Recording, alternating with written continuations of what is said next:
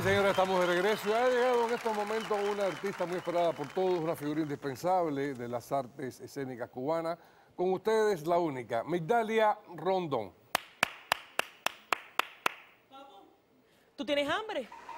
¿Tú no le pudiste robar comida a nadie aquí por la tarde en el canal? ¿Qué cosa es eso? Niurka, ahora mismo yo me voy porque no estoy para el, para el viejo este con el tonito ese del Festival del Aguacate. No, mi amor, esto parece un conjunto agrícola. Yo no soy una, una, una- una artista de cifarra, me voy. Migdalia, ¡Otero! Migdalia. Otero, te voy a mandar para la casa en cuarentena. Preséntala bien.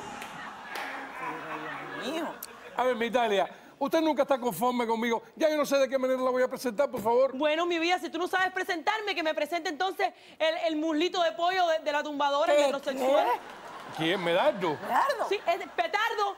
Papi, tú me puedes presentar ahí como va. Señora, petardo no, Medardo. Perdiste tu Sí, oportunidad. por supuesto, Perdiste por supuesto, su excelencia. Ay, mira cómo Ahí tiene. Los escenarios del mundo la aclaman. El brillo de su talento produce envidia y angustia en todos los que se cruzan en su camino.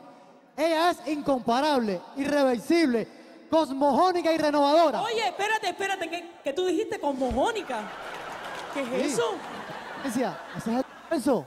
Ah, oh, ok. Ay, qué chulo. Para ustedes, señoras y señores, Victoria Rondón. prospera, prospera. Busco un te fula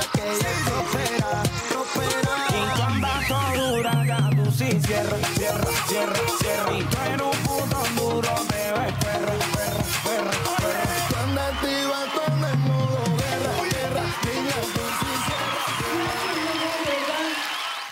Óyeme, petardo, Mary Sao. Oye, tú sí vas a llegar lejos. El día que este viejo le dé un stroke, te quedas con el show. Gracias, público. Gracias de verdad a todos mis fanáticos.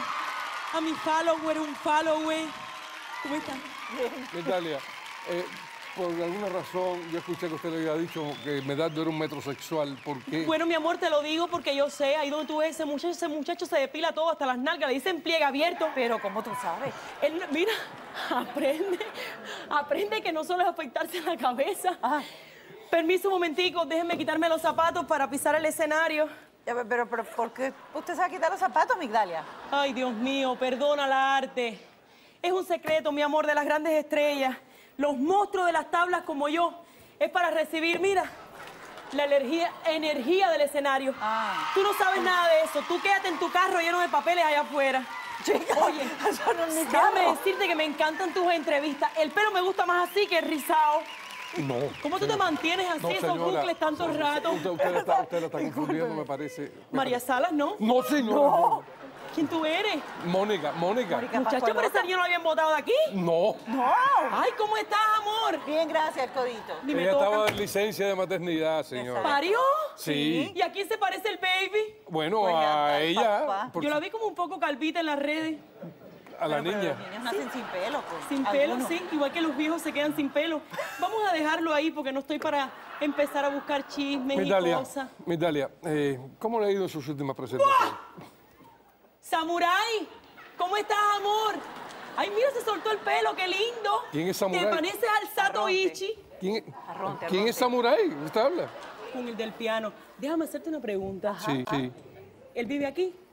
¿Cómo que vive aquí? El maestro ¿El Arronte. maestro Arronte vive aquí en el canal? No, no. ¿No? Chica, como que a mí como que me da la impresión de que, de que él se, se acaba de levantar aquí en el canal. ¿Pero, pero por qué? Muchacho, por los pelos. Esto el tiempo así. Papo, tengo grandes cosas para ti, amor, y para la gente de tu banda, ¿oíste? Hay un concierto este viernes afuera del Navarro de las 137 para... ¿Qué?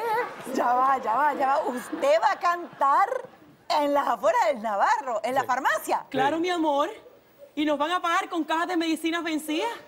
Óyeme, a esta gente de la banda le hace falta eso. Es verdad. Oye, lo mismo de broncucedín, azul de metileno, alcohol boricado, centru. Esa banda está al partirse todos, mi vida. Parece que se van a caer. Pobrecito, me Mire, usted siempre proporcionándole trabajo a la gente. Qué bonito. Sí, es así. Yo no paro de ayudar a la gente. Qué es una cosa...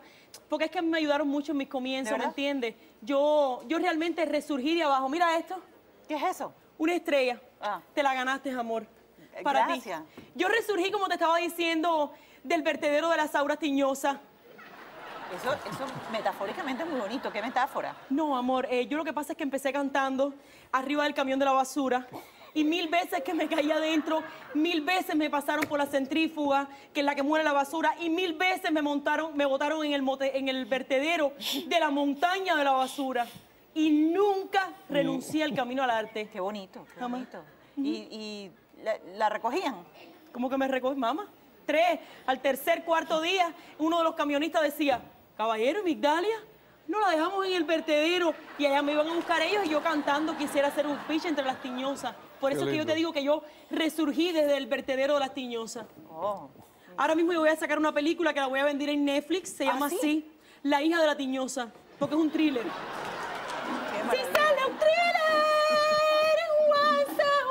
Y Jerusalén.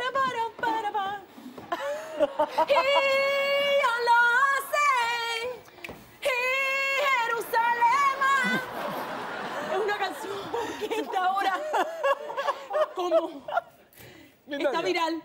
Sí, Eh, está viral. No, échalo aquí. Mamá, préstale esto ahí para que lo eche. ¿Qué tiene que La echar? plancha que se la quiere no, sacar. señora, ¿qué plancha de qué? ¿Qué cosa? No así señalando. No, papi, no. Tú no ves que tú estuviste como 15 días trancado con la novia tuya. No, mi amor, yo no estoy para darte un beso en la boca. Ay, qué asco. Capaz de que me... Señora, Ay, no. ¿qué cosa no, beso que- de qué? ¿Qué, qué le pasó en la cara? ¿Qué tengo en la cara, una- Señora. Oye, el día entero eh, criticándome la cara a mí. No. ¿Qué te pasa a ti? ¿Qué tengo en la cara? Bueno, no, como, no. como- Lo digo, usted parece que tiene algo, una inflamación, un- algo ah, en la no. cara. Pero, pero en la cara. Sí. ¿Qué te...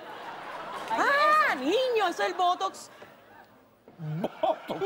Pero te lo pusieron fatal. Asking the question a hair. A mí, yo. Sí, a ti, No, tú mi sabes. amor. A mí me pone muy bien el Botox. Mi vida, mi vida, pero no dejas para nadie, mamita. El otro día yo estaba en- en- ahí en, la- en una parte, yo estaba cantando fuera de una clínica, estuve como tres o cuatro semanas ahí y fui a ponerme el Botox y cogí un día fatal, mi amor, porque estaba Mirta Medilla, Ania, Ania Linares y el Divo de Placeta. Ay, y para rematar llegó a, a la muchacha esta, Susana Pérez, y di, no, dame tres más para llevarme para la casa para, para mitad de semana. Y ya. El médico me dijo, mira mamá, para que tú no pierdas el viaje, te vamos a poner coquí. Coco. ¿Cómo? Coquí. ¿Cómo, Coquín? Papá, lo que venden es un El disco para rellenar el la- coquín. las paredes. Coquí. Sí, sí. Pero eso es para rellenar los rodapiés y esas Papo, cosas. eso es con silicona igual. Aquí estoy que, que esperando que se seque, porque por eso que me ven que estoy como hablando como rara. Ya. ¿Y después que se le seque qué? ¿Qué pasa? Se rebaja con espátula, papo. Te trajo un regalo. A ver, mamá. Te lo paso. Tú sabes que yo siempre te traigo algo Ajá. para ti. ¿Qué le vas a cortar? Porque la vez pasada yo vine y me da lástima con él. La mujer no lo está atendiendo porque pasó el COVID y le veo una pendejada aquí en la nariz que me da. De pelo, caballero, de pelos, de hair, de hair, caballero. Y mira, Pero, y no quiero que te quedes atrás Yo se lo agradezco mucho. porque me da pena contigo. Mira, ¿qué es eso? para que se traladre las orejas ¿Por por, qué? atrás. Para las orejas. De- Gracias, Mitalia. Usted siempre pensando en uno. Yo quiero que prosperes y que no te quedes aquí en el canal educativo este. Yo quiero que tengas un negocio que ¿Ah, sí? suba. ¿En serio? ¿Dónde, dónde? ¿Qué Me da cosa? lástima contigo. Yo quiero que tú salgas adelante, que tú nada más que no te quedes aquí presentando, que tú seas emprendedor, dueño de tu propio negocio y ganas Ya. de tu propia casa. ¿Por qué tú no vendes una réplica de, de tus orejas como llavero? ¡Qué bueno! Vas a poder tener sonido y todo. Viste la para gracia ubicarlo. tuya. Pi, pi, pi, pi. ¿Viste la gracia? llavero. Lo engancha, un vaciado de las orejas tuyas. Sí. Los artistas venden perfume, ropa. Antonio Bandera vende perfume. Sí, claro, claro. Orejadero. Todo el mundo No, mi amor, su y marca, lo puede claro. cambiar. Orejas Justin 2020, Bieber. Orejas 2021. Mira, Sí. Tony Cortés. No, ¿Qué le pasó a Tony Cortés ahora? no, yo pensaba que él vendía cosas, pero él lo que se puso fue un buco, era la partañuela. No. No, señora, un Bueno, búcaro. tú vendes Un el búcaro. llavero, papo, vendes. Todo el mundo en Jayalía va a querer una oreja tuya en la casa. De Sí. verdad. Aprovechas la fama. Sí. Y ya. La- la- no, es la pata de conejo lo que da suerte, ¿verdad? No, No, la porque él puede cambiar las tallas porque le va a seguir creciendo. Oreja 2020, oreja 2021, oreja 2022. Y ya te entra una tierrita más para que no te quedes aquí. Es una buena idea, lo voy a tener en cuenta. ¿Qué tal? Ya. Eh, ¿Por alguna casualidad trajo algún poema? Eh, bueno, yo quise traer un poema hoy. Realmente no es mío, me lo entregó un anónimo. Y está dedicado realmente al samurái, al muchacho que duerme aquí, que me da lástima con él. Un hombre que es un sex símbolo aquí en este canal de televisión. Oh, sí. Eh, Papo, si le pudieras decir al buga de las trenzas. Señora, señora, ¿qué, qué usted, qué usted está hablando? ¿Qué? ¿Qué? Esos dos, el buga de. Le decimos el buga. La maquillista me estaba haciendo el cuento y cuando yo paso por acá, que el otro pajarito me estaba conectando. ¿Quién es el otro pajarito? Misael. que me estaba, el que le pegaron los tarros. Sí. Ese les estaban cayendo allá atrás a galletas como si fueran dos desquiciadas.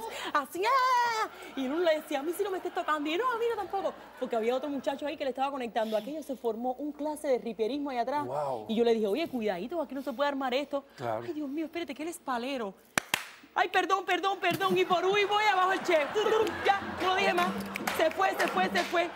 Los muchachos que después yo empiezo a decirle cosas y me echan una brujería de cara, bla, bla, la cara virada. Discúlpeme, discúlpeme. Ellos andan, pobrecito. Hola, Misael, ¿cómo estás?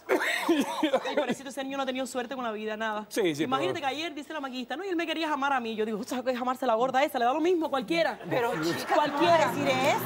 Cualquiera le da igual. Tú te das cuenta que es como que ¿Por está todo el así, mundo se mete con el pobre Misael? Porque es un infeliz, porque él siente que no está, está acorde con su life, con su vida, no sé. Ese tipo estuvo hasta con el piti. Oye, para jamarse al piti hay que tener un clase de estómago. Pero es que y nada más porque él le dijo el sexo de la que era mujer de él, le dijo, te está pegando los tarros. Y ahí él dijo, no, estate conmigo para cualquier cosa que pase, me da lástima. Porque... Wow, otro más en la lista. En la lista ¿Cómo estás, ¿eh? Piti? Bueno, Aquello está. sí, y el poema. Y allá afuera, no, el poema. ¿Qué? Ay, Dios mío. ¿Qué pasó? La maquillista. ¿Qué le pasó? La maquillista en tremendo lío que también se formó. ¿Por qué? Porque vino la mujer del otro y se le paró allá afuera, en el parqueo. Y le dijo, te vas del carro. Y ella dijo, no, que yo tengo las brochas en la mano. Y se entraron a ella también a brocha. ¿A y, sí, las bases todas están rotas por lo que se formó allá afuera. Yo le dije, tranquila, que yo no voy a decir más nada. Pero es que me da lástima que el, que el otro le vaya a caer a golpe allá afuera. Sí, claro, es verdad. Usted siempre pensando en el bienestar de la persona, Migdalia. Sí. Es que usted tiene un gran corazón, ¿eh? Sí, yo soy noble, De humilde. No se No, nota. todo el mundo tiene esa humildad que yo tengo, ese talento. Y siendo una estrella como soy, que yo logre estar aquí y me logre rebajar ustedes aquí, oye, hay que ser. Sí. La modestia, la modestia suya es... Eso Yo quisiera hacer un poema hoy. Sí, y quisiera decirle a Peróxido que se callara la boca, por favor, para que no me jodan ¿Quién es mi poema. Pero- la muchachita del... Pero ¿cómo la que canta. ¿Cómo le va a Mi amor, desde que yo estoy allá afuera, los ojos me lloran. Ese rubio es, no le pega a ella. ¿Cómo que no le ella tiene un tinte de. Walgreen que no, los ojos los tengo hinchados. Cámbienle el tinte a esa mujer. Aquí ustedes no les dan tinte. Ustedes lo tienen que hacer en la casa. No, no, nosotros que Ramosito. Ramosito es de vestuario que se dedica a pintarle el pelo. aquí A pintarle el pelo. Sí. Por eso está destruido. Ese es otro, mi amor, ¿Qué le pasó? También tiene peróxido, creo. con el otro muchito que estaba bailando ahorita de Santa. ¿Así? Lo cogí ensartado allá atrás. Abrazado. Este canal está. Este canal está que yo no sé si sea bueno que yo haga el poema ahora. ¿Por qué? Porque me da pena, no quiero estar diciendo las cosas ¿cómo que pasan en el decir un canal. poema después de todo lo que ha lanzado y todo lo que ha dicho? Mi amor, ¿quién se enteró? ¿Quién se enteró? canal. Nosotros tres. No. Un, dos, tres y. Niño, tírame ahí. En esa banda se quieren, madre mía, como hermanos. La dirige un samurái muy cachondo allá en el piano. Muchos dicen que eres sexy y dicen bien, es verdad. Hay que mirarte de lejos para tenerte piedad. Samurái, qué lindo eres, despierta sensualidad. ¿Eres un hombre completo o eres solo la mitad? Por el piano que tú tocas, por tus manos, por tu silla, lo juro por tus tetillas que eres arrebatador. Y a las mujeres les robas completo tu corazón, aunque para ser realista eres feo con dolor. Muchas gracias. Mi música para despedir. ¡Tú harás Hasta luego, Migdalia, hasta luego.